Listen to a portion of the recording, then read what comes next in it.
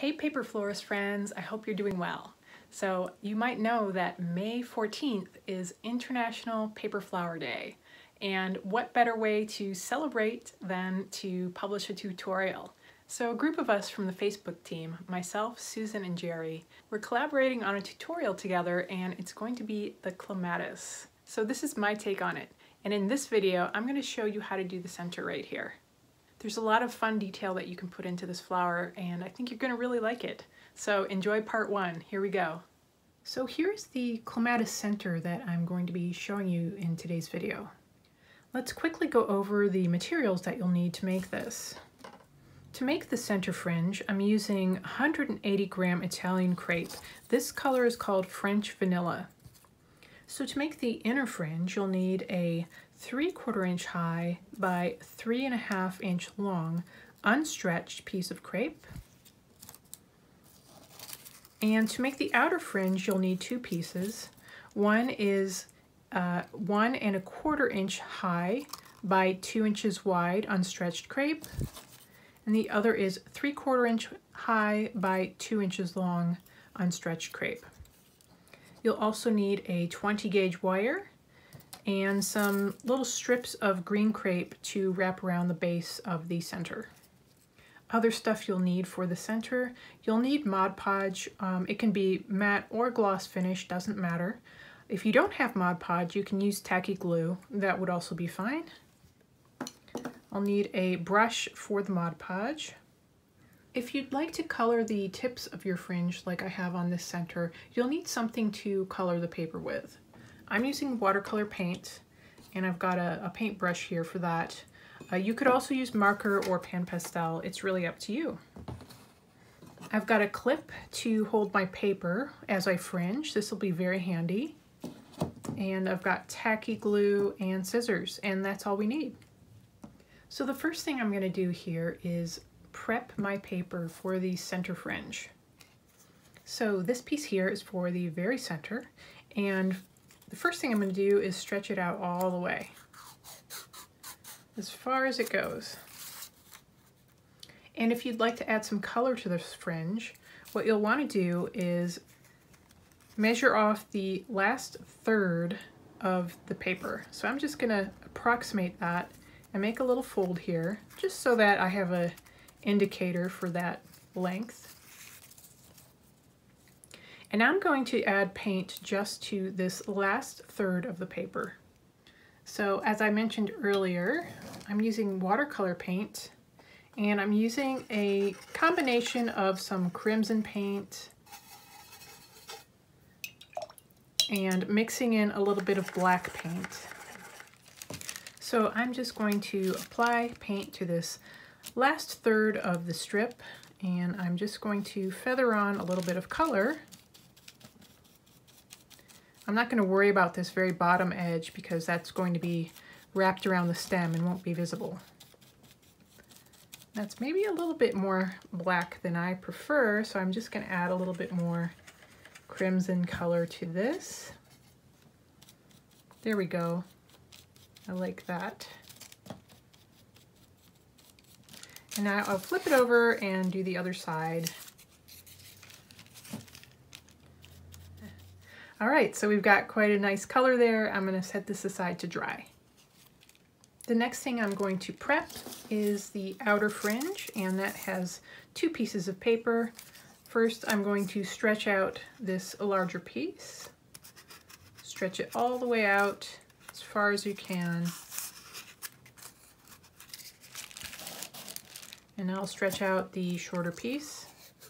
Do the same thing, stretch it all the way out.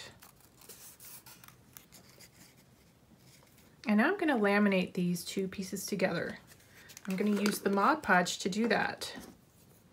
So I'm going to take a generous amount on my brush and I'm going to apply it all over the surface of the shorter piece. I'm applying it a little bit thicker than we would normally do for a coating. We want a really generous amount.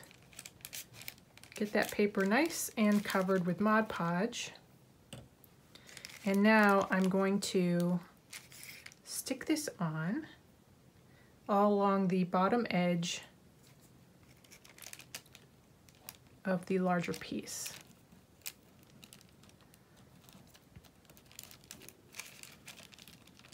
And it's okay if you've got some edges sticking out. Doesn't have to be perfect, but I do want it running along the bottom here, matching up there. So now I'm gonna give this a nice press, make sure it's really stuck to that piece below. Let that settle in for just a moment. And now I'm gonna add a little bit of paint to this as well. All right, now I'm gonna use the same combo of crimson and black paint. So I'm just gonna get a small amount of paint on my brush and lightly paint the very top edge right above that second strip here. And if you do get some on the second strip a little bit, don't worry about it. It does not have to be perfect. So I'm just doing a light little coating here at first getting a little bit of color.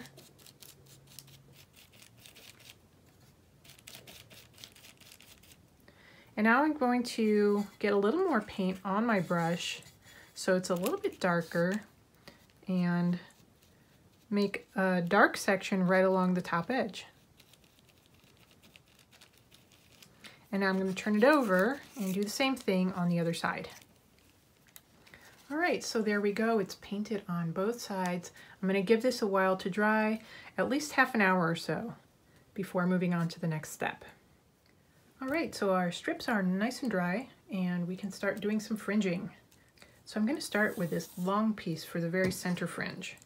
And you can see that it's right in here. It's a little shorter than these outer pieces. So I'm going to take this strip, I'm going to fold it up a little bit to make it easier and faster to fringe. So I'm going to fold it in half and I'm lining up the edges really nicely. I'm going to fold it in half again. Make sure everything's lined up and make sure that your painted section is facing downwards. We want that to be sticking out of the clip. I'm going to take this clip and clip the top edge. That way my paper will all be held into place. It's going to make it a lot easier to fringe. And I'm putting about a quarter inch of paper inside of the clip. Once that you have it clipped, then go ahead and cut through those folded edges vertically up to the edge of the clip. And now I'm going to go ahead and start fringing. And I want this fringe to be very, very fine. I'm going to be cutting it as small as I can. And this is about one millimeter and less than a 16th inch. So make it very, very, very fine fringe. So here's a little bit of a closer view. You can see how fine this fringe is. And I'm going to go all the way down just like that. All right, everything's all fringed up. And now I'm going to unfold it.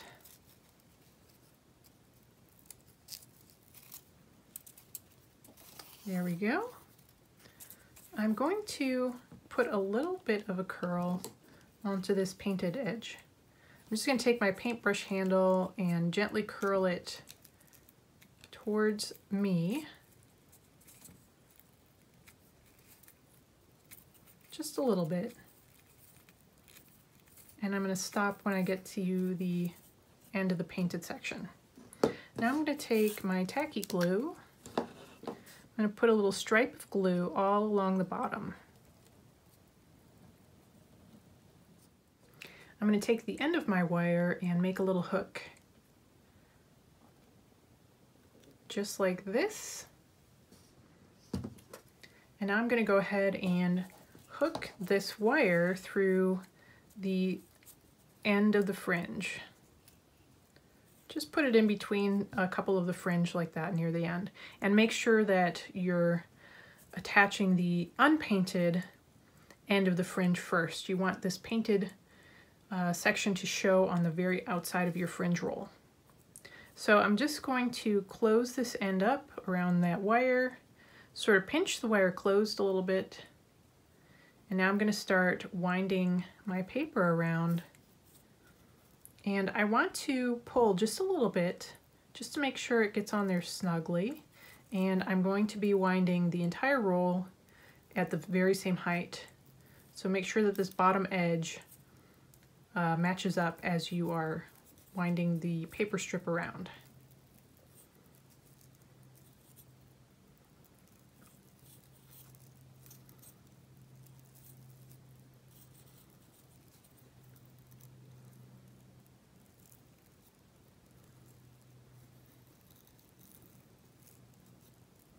And here we are to the painted edge.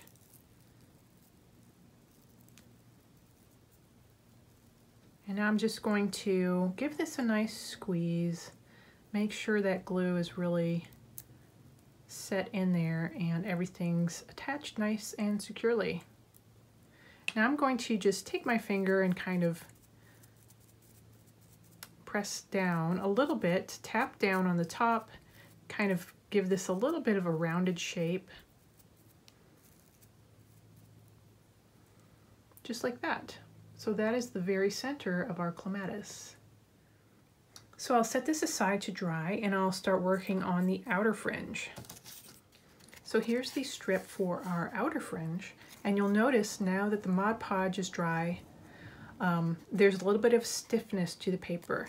So it really holds its itself up, it holds its shape really well, much better than just a single layer of paper. So now I want to fringe this. So I'm going to fold this in half just once. It's thicker and it's also not as long. And I'm going to put the unpainted edge into my clip. I'm going to clip a little bit more this time, maybe closer to half an inch of paper in there. Make sure it's in there nice and straight. I'm going to go ahead and cut through this edge just up till the clip. Now this fringe is going to be a little bit wider. It's going to be about uh, a 16th of an inch or about two millimeters. So I'm going to go ahead and start fringing that. So I'm going to cut all the way up to the edge of the clip. And I'm going to fringe the entire strip just like this. All right, we are all fringed here, and now I'm going to unfold this.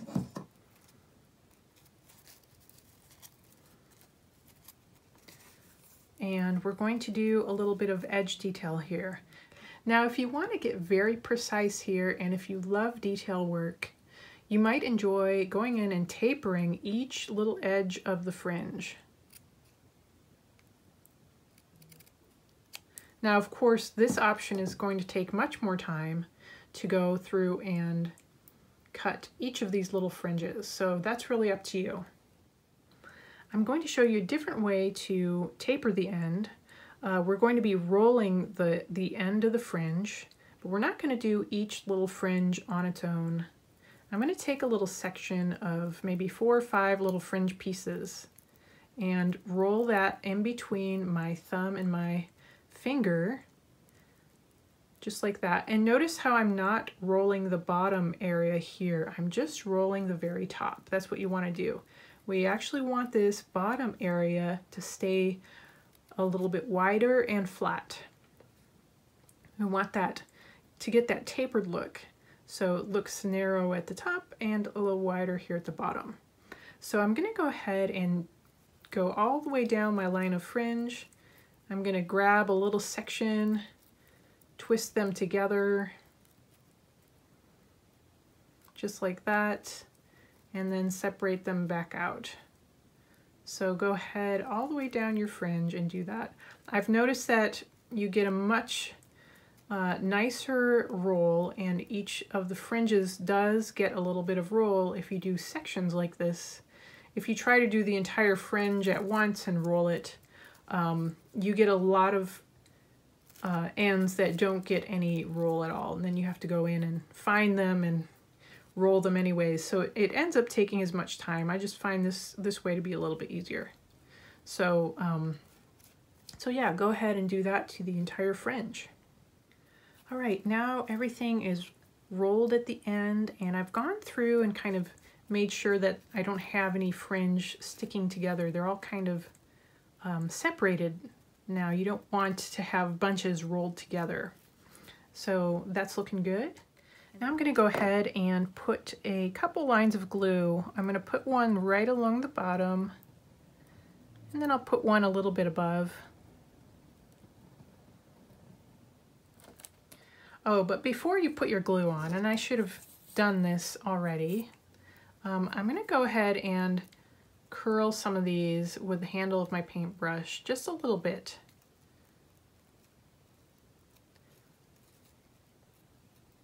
Just along the first third or so of the strip.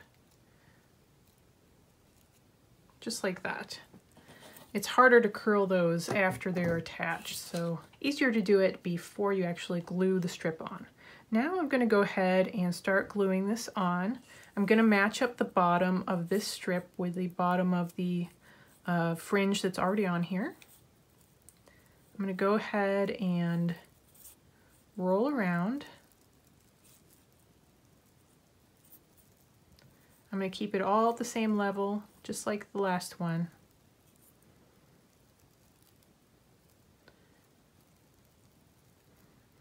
As I roll, I'm pulling the paper just a little bit with this hand right here. I want to make sure it's a nice and snug roll. I don't want it loose or moving around. And there we go. Now I'm just going to go ahead and really give this a nice strong pinch with your fingers to make sure everything's stuck on there really well. All right, so this is attached. Before I do anything with these little fringes, I'm going to let them dry a little bit. I'm also going to wrap the very bottom onto the stem with a little bit of green paper. So I'm just going to apply a line of tacky glue. So I'm going to roll a little bit around the stem. I'm going to kind of build up the thickness of the stem right underneath the center here. I'm going to go up onto the bottom of the center just a little bit.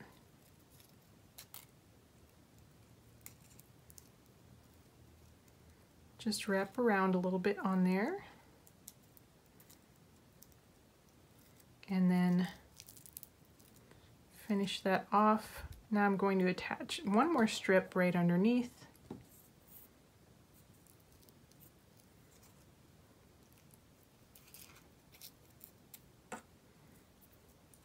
You'll get a smoother attachment with your petals if you have a little bit extra thickness on that stem right underneath the center.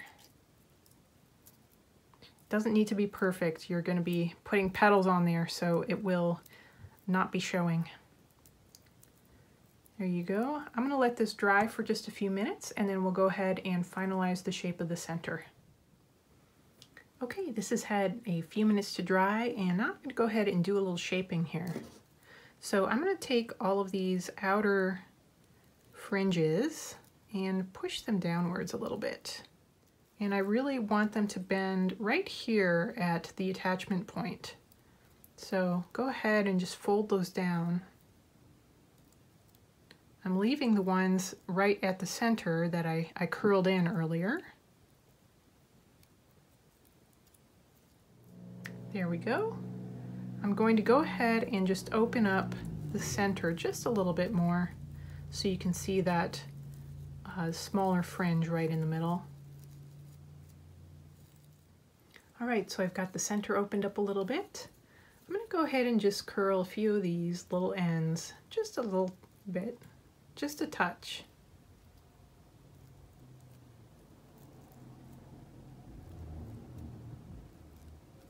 There, that looks good. You can always fine tune this again after your petals are on. So here's your completed center. Thanks so much for joining me today. I do love sharing tutorials with you. I hope you enjoyed this and I hope you have fun making a clematis. And once again, happy International Paper Flower Day. And with that, I will hand this over to Susan. She's going to show you how to make the petals, and then Gerry's going to teach you how to make the leaves and the stem and assemble the vine. So I will see you all again soon.